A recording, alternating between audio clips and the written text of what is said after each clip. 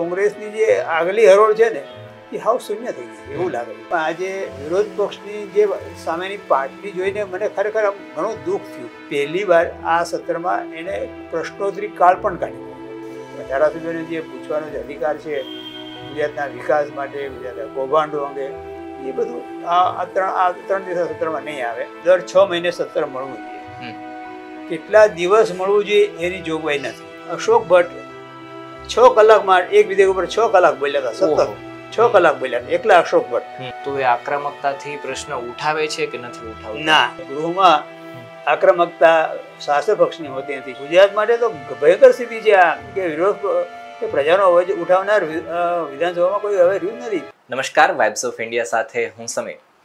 આપણે જાણીએ છીએ કે ગુજરાતમાં વિધાનસભા સત્ર મળ્યું છે ત્રણ દિવસનું આ સત્ર છે. અને વિધાનસભા સત્ર શું હોય છે? એમાં કામગીરી શું કરવામાં આવતી હોય છે? શા માટે મહત્વનું હોય છે? એની પાછળના કારણો શું હોય છે? એમાં કામગીરી વગેરે જે કંઈ પણ છે, એ થાય છે, લોકો માટે થાય છે કે એની પાછળના બીજા કોઈ પણ કારણો હોય છે? આ તમામ વિષયો ઉપર વાતચીત કરવી છે. અને ખાસ તો વાત એ કે વિધાનસભા સત્ર જે મળ્યું, એ વિધાનસભા સત્રની જે આપણે ગુજરાત બન્યું, એના પછીની જે કંઈ પણ કામગીરી છે એ શું છે? એ સમયનો, એનો ઇતિહાસ શું છે? એ તમામ વિષયો પર વાતચીત કરવી છે આજે. અને વાત કરવી છે વરિષ્ઠ પત્રકાર જનકભાઈ પુરોહિત. સાહેબ, સ્વાગત છે આપનું વાઇબ્સ ઓફ ઇન્ડિયામાં સર જે આજે ત્રણ દિવસનું વિધાનસભાનું સત્ર મળવા જઈ રહ્યું છે, એમાં આજે પહેલો દિવસ હતો. પહેલાં તો આજના દિવસમાં શું શું વાતચીત થઈ હતી? કારણ કે ઘણું બધું થયું છે. પેલું ઇટલી કિટલીવાળી પણ વાત થઈ હતી. માની લો કે પેલા ઘણા બધા નેતા છે જે કોંગ્રેસમાંથી ભાજપમાં જોડાયા, તો એમનું સ્વાગત પણ ભાજપના નેતાઓએ બધાએ કર્યું હતું ધારાસભ્યોએ. એવી અમુક અમુક બાબતો એ સર જણાવો તો. આજે વિધાનસભા સત્રનો જે આ એક ત્રણ દિવસના સત્રનો જે પહેલો દિવસ હતો તો ઓગણીસો નેવુંથી ત્યાં બેસું છું. પણ આજે વિરોધ પક્ષની જે સામેની પાટલી જોઈને મને ખરેખર આમ ઘણું દુઃખ થયું. કે આ સ્થિતિ એક પણ એવા પેલા જે બે હરોળ તો સિનિયર ધારાસભ્યની રહેતી હતી કોંગ્રેસના જે શાસક પક્ષને ભારે પડે એવા. એને બદલે ત્રણ જ નેતાઓ. જે એમાં એ ત્રણમાં તો હું તો બે શૈલેષ પરમાર ને ચાવડા બે એ સિવાય બાકી તો બધા ને જે ગાઈડન્સની જરૂર પડે એવા બધા. એટલે આવી દયનીય સ્થિતિ કોંગ્રેસની છે ને જેમ લોકસભામાં તો સીટો વધી રાહુલ ગાંધી આગળ આવ્યા પણ ગુજરાતમાં ઈ ઈ પીછેહટ થઈ છે. અર્જુન મોઢવાડિયા સંજય ચાવડા આ બધા જે નીકળ્યા એને કારણે કોંગ્રેસની જે આગલી હરોળ છે ને એ હાવ શૂન્ય થઈ ગઈ છે એવું લાગે છે. એટલે આવી સ્થિતિ તો અત્યાર સુધીના ઇતિહાસમાં ક્યારેય નથી જોઈ વિરોધ પક્ષની. એવી સ્થિતિમાં આ જે વિરોધ પક્ષ છે એને સરકાર ભાજપ સરકાર સમજે છે કે હવે વિરોધ પક્ષ નામ નિશાન નથી. એટલે પહેલી વાર આ સત્રમાં એને પ્રશ્નોત્તરી કાળ પણ કાઢી નાખ્યો. જે તારાંકિત પ્રશ્નોત્તરી જે બહુ મહત્વની હોય છે જે એક કલાક ચાલે અને એમાં ભલે પ્રશ્નો તો દસ બાર કે ચૌદ પ્રશ્નો ચર્ચાતા હોય પણ એંસી નેવું પ્રશ્નો જે હોય છે જેમાં ગુજરાતના ઘણા બધા ઇસ્યુ હોય છે જે લોકોના કામ અટકેલા હોય છે અન્યાયથી હોય છે એ અથવા તો સરકારે જે છુપો હોય એ જાહેર થતું હોય છે. આ જે પ્રશ્નોત્તરી રદ થઈને એને કારણે આ સરકારને જે આ ધારાસભ્યોને જે પૂછવાનો જે અધિકાર છે ગુજરાતના વિકાસ માટે ગુજરાતના કૌભાંડો અંગે એ બધું આ આ ત્રણ આ ત્રણ દિવસના સત્રમાં નહીં આવે. ટૂંકી મુદતના આજે ચાર કે પાંચ પ્રશ્નો હતા. એ ટૂંકી મુદતના પ્રશ્નોમાં કંઈ એવું જ્યાં જે સ્કોપ નથી હોતો જે તારાંકિત પ્રશ્નોત્તરીમાં હોય છે. બરોબર. એટલે આજે વિરોધ પણ થયો હતો કોંગ્રેસે બહુ વિરોધ પણ કર્યો હતો. કોંગ્રેસને વિરોધ કરવાનું આજે જે ઠરાવ આવ્યો છે વડાપ્રધાન માટેનો એના માટે એ તો સ્વાભાવિક જ છે કે ભાઈ તમે આટલી બધી નેવું મિનિટનો સમય આપ્યો હતો અને બધા લંબાણપૂર્વકનો ઠરાવ હતો. એને કારણે વિરોધ પક્ષના તો દસ ચૌદ સભ્યો છે એમાંથી હવે બહાર બાર રહ્યા છે બાર તેર રહ્યા છે. એમાં જીગ્ને જેવા તો ગેરહાજર હતા હમ. એટલે કારણે એને ખબર હતી કે આનો વિરોધ કરશે જ કારણ કે આ વડાપ્રધાનની પ્રશંસા માટેનો આ ઠરાવ હતો. એને કારણે એનો વિરોધ કર્યો છે. પણ એના વિરોધથી પ્રજામાં કે શાસક પક્ષને ભાજપને બહુ જાજુ ફેર નથી પડતો. કારણ કે પ્રજા ચૂંટીને મોકલેલા હોય છે. વડાપ્રધાન થયા છે તો એ પ્રજાને કારણે થયા છે. ને સર આપે વાત કરી હતી કે તારાંકિત પ્રશ્નો.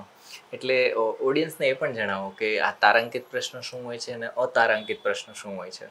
જે એક કે બે પેજમાં જે જેના જવાબ આપી શકાય એ બધા પ્રશ્નોથી તારાંકિતમાં આવે છે. અને જેના જવાબ લાંબા હોય છે બે પાનાથી વધારે હવે તો એક પાનાના પ્રશ્નોને જ જેમાં તારાંકિતમાં લે છે, બાકી તો બે પાના થાય એટલે એને અતારીખમાં જવા દે છે. તારાંકિત પ્રશ્નોથી એ પ્રશ્નોત્તરી કાળમાં એ ગૃહમાં રજૂ થાય છે, એના પર ચર્ચા થાય છે. અતારાંકિત પ્રશ્નોત્તરી છે એ એની ચોપડી ધારાસભ્યને એમને આપી દેવામાં આવે છે. એની ચર્ચા નથી થતી. તારાંકિત પ્રશ્નોની ચર્ચા ગૃહમાં થતી હોય છે. અને સૌથી પહેલો કલાક હોય છે એ તારાંકિત પ્રશ્નોત્તરીનો હોય છે. એટલે એ તારાંકિત પ્રશ્નોમાં એ પ્રશ્ન ઉપરાંત પછી એના પેટા પ્રશ્નો પૂછાતા હોય છે. સાત આ જેવો પ્રશ્ન જેની મહત્તા એ પ્રમાણે અધ્યક્ષ એને વધુ ચર્ચા માટે સ્કોપ આપતી હોય છે. પ્રશ્ન હોય સામાન્ય હોય તો એમાં બે કે ત્રણ સભ્ય સભ્યો પૂછી લે પ્રશ્ન પૂછે. એક એક પ્રશ્ન પાછળ લગભગ દસ મિનિટ જેવો સમય જતો હોય છે કે દસ મિનિટ સુધી ધારાસભ્યો અલગ અલગ બધા ધારાસભ્યોને એમાં પેટા પ્રશ્નો પૂછવાની તક મળતી હોય છે. એ મહત્વનું છે. કારણ કે સરકારે એનો જવાબ દેવો પડતો હોય છે ગૃહમાં. એ પ્રશ્નોથી તારાંકિત પ્રશ્નો છે એ આ રદ થઈ ગઈ છે ત્રણ દિવસ બરોબર. આ સત્ર છે એ વર્ષમાં બે વાર મળે છે. એ ચાહે ચોમાસું સત્ર હોય કે શિયાળુ સત્ર હોય કે પણ એ મળવા પાછળનું કારણ શું હોય છે? શા માટે આ સત્ર મળવા જરૂરી છે? એ તો બંધારણીય રેસિડેન્સી જોગવાઈ છે કે દર છ મહિને સત્ર મળવું જોઈએ. કેટલા દિવસ મળવું જોઈએ એની જોગવાઈ નથી. ઓકે. પણ મોટે ભાગે જે બજેટ બજેટ સત્ર હોય છે એના દિવસો જાજા હોય છે. અને પછી જે ફરજિયાત છ મહિનામાં સત્ર બોલાવવું પડે એ કોઈ કોઈ સુધારા બિલ છે કે નવો કોઈ કાયદો આવ્યો હોય કે અથવા તો કોઈ વટકું બહાર પડ્યો હોય એના બિલ માટેનો આ સત્ર હોય છે બે કે ત્રણ દિવસનું હોય છે. પહેલાં જ્યારે આપણે વાત કરીએ કે ગુજરાત રાજ્યની સ્થાપના થઈ ઓગણીસો સાહીઠમાં ત્યારે મુંબઈ રાજ્ય રાજ્યમાં એ અલગ પડ્યું હતું. એના કારણે આપણે નવેસરથી આખું ગુજરાતનું સેટઅપ ગોઠવવાનું હતું. ગુજરાતના નવા કાયદા બનાવવાના હતા. ગુજરાતની નવી નીતિઓ ઘડવાની હતી. એના કારણે એ જે તે સમયે ઓગણીસો એકસઠ બાસઠથી લઈને સિત્તેર સુધી લગભગ આ સત્ર છે ને લગભગ સાઠ દિવસ સિત્તેર દિવસ સુધી ચાલતા હતા. કારણ કે કામ જ એટલું બધું હતું કે એટલા બધા કાયદા બનાવવાના હતા અને વ્યાપક ચર્ચા ને તે. આ બિલ જે છે વિધેયક છે એના ઉપર ચર્ચામાં પહેલાં તો એવું હતું કે એમાં કોઈ સમયનો કોઈ પાબંદી જ નહીં. જેને જેટલું બોલવું એટલું બોલી શકે. મને યાદ છે કે ઓગણીસો ને લગભગ ચોર્યાસી પંચ્યાસીમાં કે અશોક ભટ્ટ છ કલાકમાં એક વિધેયક ઉપર છ કલાક બોલ્યા હતા સતત છ કલાક બોલ્યા હતા એકલા અશોક ભટ્ટ. એટલે વિધેયક ઉપર બોલવામાં કોઈ હવે હવે તો બધાને સમય નક્કી કરીને આપે છે કે આ વિધેયક આપણે દિવસના ત્રણ વિધેયક પસાર કરવા છે એટલા વાગ્યા સુધી છે તો દરેક વિરોધ પક્ષને એટલો સમય મળશે સાહેબને એટલો સમય મળશે એટલે એને બે કે ત્રણ મિનિટમાં કે ચાર મિનિટ માટે બોલવાનો સમય મળે તો એ વિધેયક પર પૂરી વાત જ ના કરી શકે. એટલે હવે હવે એ આખી જે પરંપરા એ ઘટી ગઈ છે. એટલે ઓગણીસો સાહીઠથી જે નવા બિલો ત્યારે બિલો જ્યાં જ્યાં હતા એની વ્યાપક ચર્ચા હતી.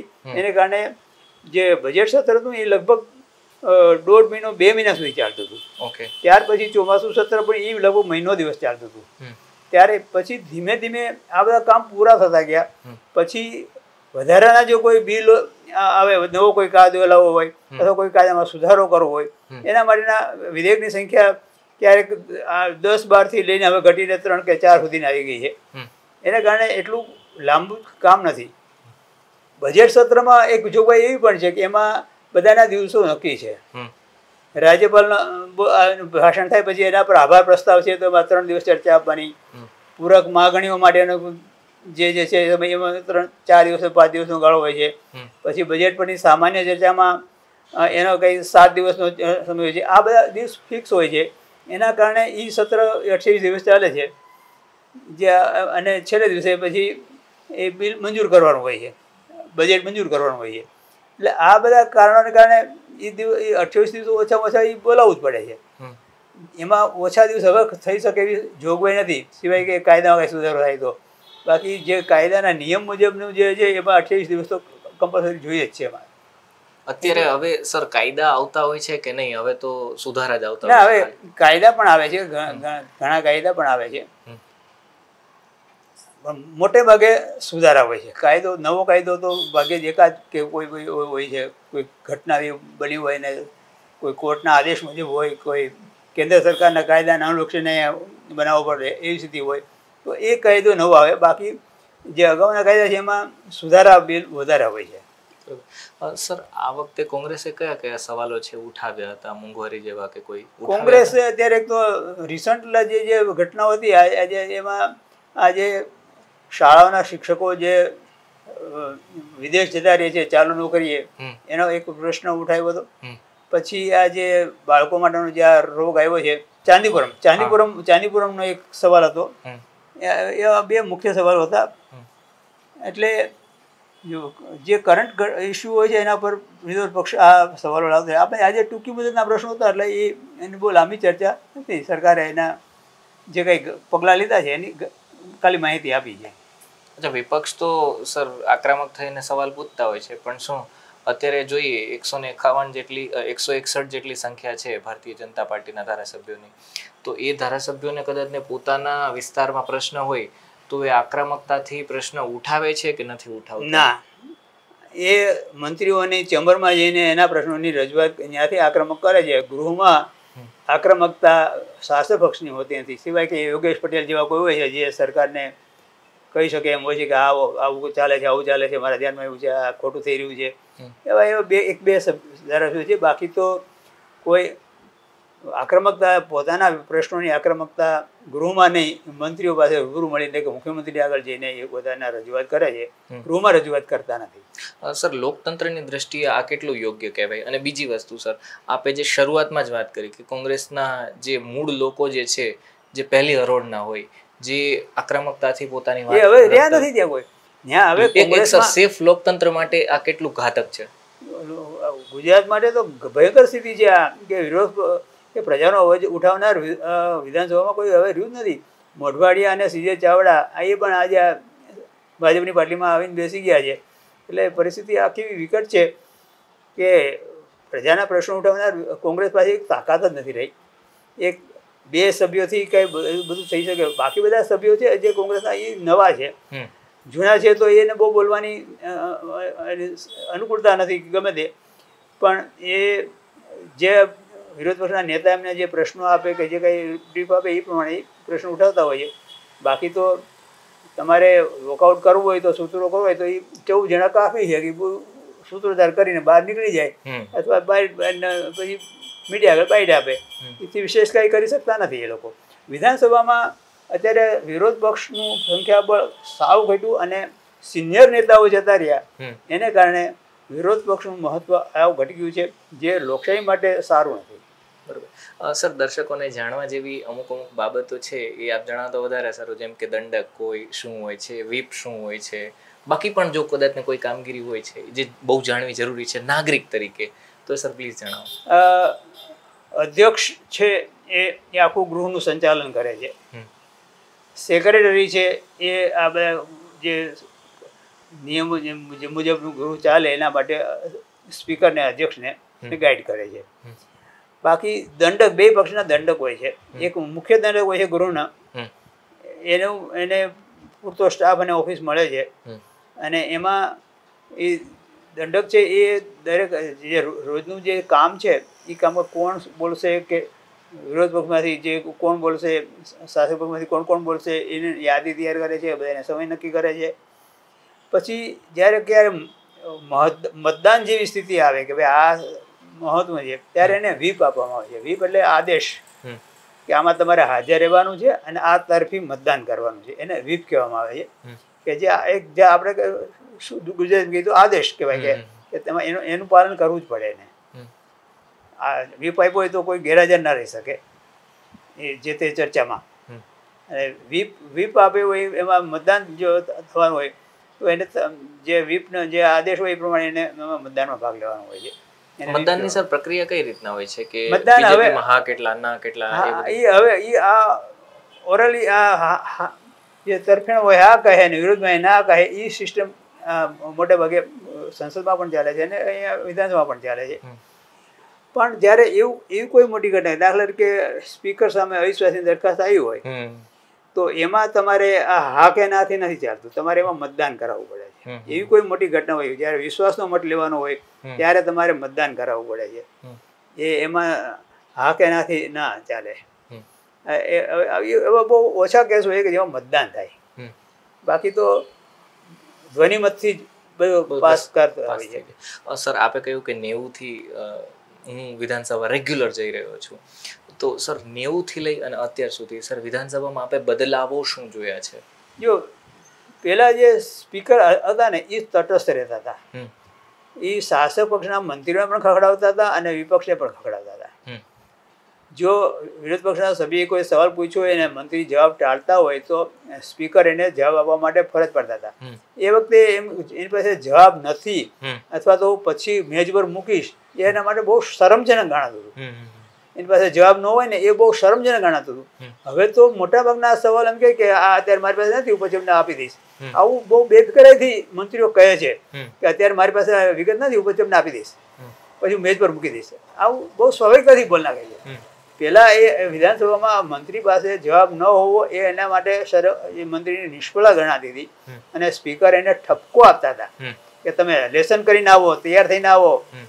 અમને જવાબ નહીં ચાલે. એટલે મંત્રીઓને કહે તમે ટૂંકા જવાબ આપો. આ બધું અધ્યક્ષ પેલા એને બધાને શાસક પક્ષ હોય કે વિરોધ પક્ષ હોય બધાને એક તટસ્થતાથી વર્તા હતા. હવે તટસ્થતા હવે કોઈ ગૃહમાં જોવા નથી મળતી. સર આક્રમકતા વધી છે પોલાઇટનેસ ઘટી છે એવું કંઈ આપને લાગે છે? આક્રમકતા તો પહેલા પણ હતી. પહેલા હતી આક્રમકતા એ પાર્લામેન્ટરીની હતી. જે કોઈ પણ સરકાર કોઈ પણ નિયમ વિરુદ્ધ કરે તો તરત જ મને યાદ છે કે ત્યારે મનો મનોહરજી જાડેજા હોય કે મનુભાઈ પરમાર હોય કે આ બધા પાસેની બેન્ચ આગળ એટલા ચોપડા થપ્પા રહેતા હતા કે તરત જ ગોતી કાઢે કે ક્યાં નિયમ મુજબ આને ખોટું કર્યું છે.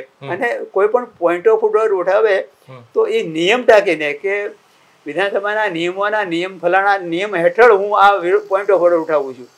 અત્યારે હું છેલ્લા કેટલાક વર્ષોથી તો કોઈ વિધાનસભા નિયમોને ટાંકતું નથી. સર પોઈન્ટ ઓફ ઓર્ડર કરીને બોલવાનું શરૂ કરી દે છે. પણ ક્યાં નિયમ હેઠળ તમારો પોઈન્ટ ઓફ ઓર્ડર છે એ તો કોઈ બોલતું જ નથી હવે. અને જ્યારે પેલા શાસક પક્ષના બી જે હોય મંત્રીઓ મંત્રી હોય એની પાસે બી ચોપડીઓ રહેતી હતી આ બધી નિયમોની અને વિરોધ પક્ષ પાસે રહેતી હતી. અત્યારે હું જોઉં છું કે આજે આજે જ મેં માર્ક કર્યું કે આજે કોઈની પાસે ચોપડીઓ નથી માત્ર સેક્રેટરી પાસે ચોપડીઓ છે. પછી સેક્રેટરી એમાંથી નિયમ ગોતીને સ્પીકરને બધા આ નિયમ હેઠળ આ રૂલિંગ છે.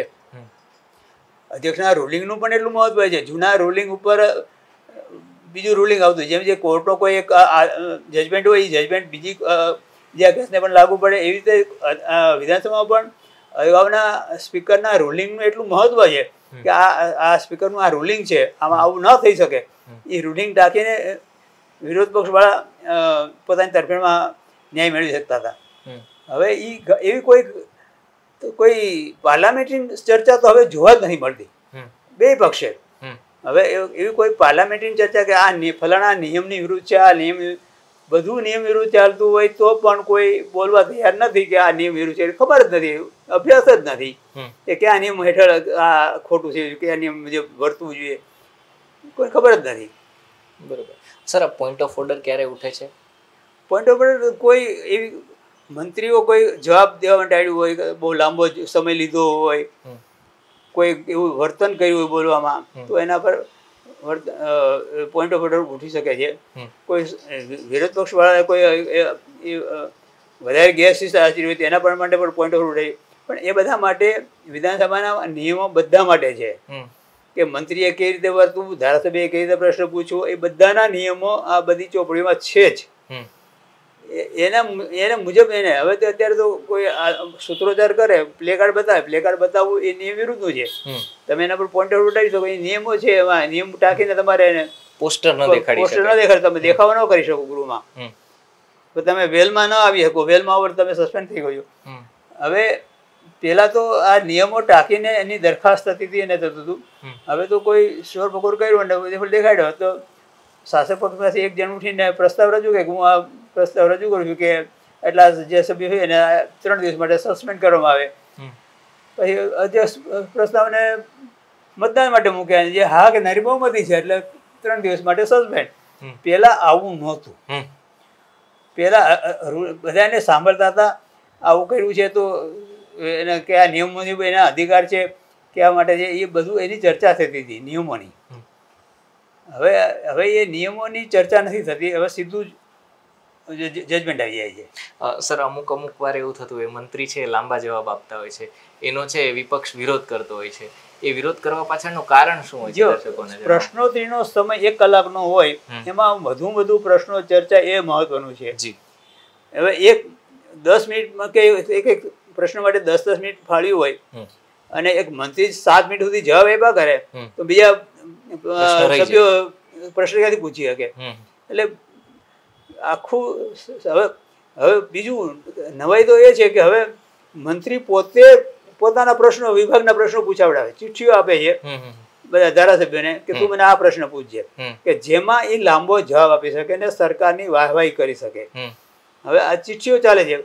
હવે પૂછવું કે આ આ યોજનાનો શું હેતુ છે? હવે યોજનાનો હેતુ શું છે? એ ધારાસભ્યને ખબર ન હોય તો એને ધારાસભ્ય તરીકે રાજીનામું દેવું જોઈએ. બિલકુલ. સરકારની કોઈ યોજના હોય કે બાલ વિકાસની આ યોજના છે સરકારનો હેતુ શું છે? હવે હેતુ પૂછે એટલે આખું લાંબુ ભાષણ થઈ શકે એમાં.